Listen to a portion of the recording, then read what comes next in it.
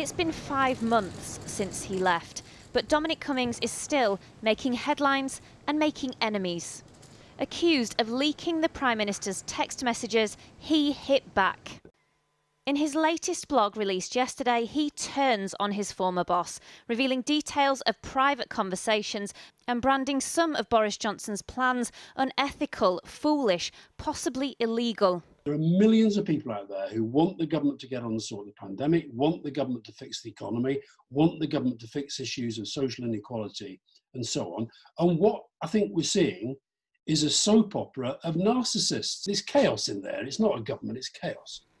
Now the battle of the briefings begins between Mr Cummings and Downing Street over who did leak details of the second COVID lockdown back in October.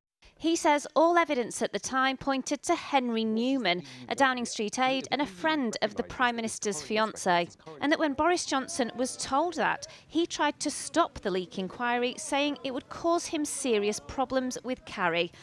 Sources in government say it was Mr Cummings himself who was the so-called chatty rat, and reports today even claim that MI5 were brought in at the time to confirm it. According to Health Minister Nadine Dorries, Downing Street know 100% who the chatty rat was, and those who protest it wasn't me doth protest way too much.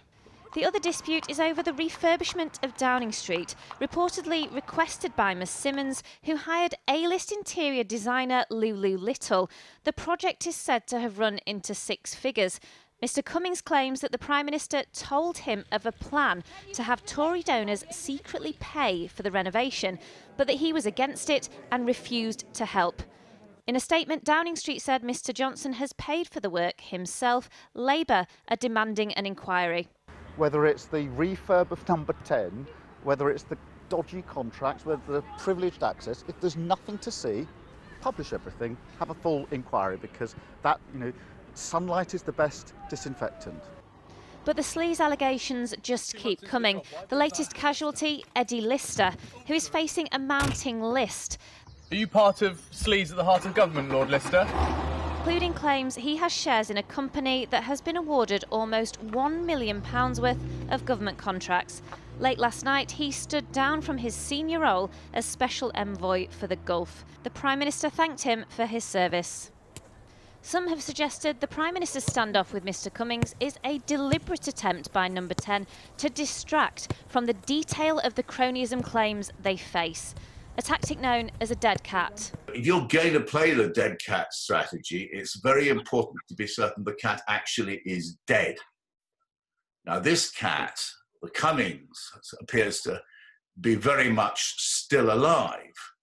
And so we now have what is unquestionably a mortal combat. And who do you think will win? I, I don't want to call it. What I say is that Britain is the loser. The Electoral Commission is currently seeking answers over the Downing Street refurbishment. A number 10 spokesman said all donations were transparently declared in line with electoral law.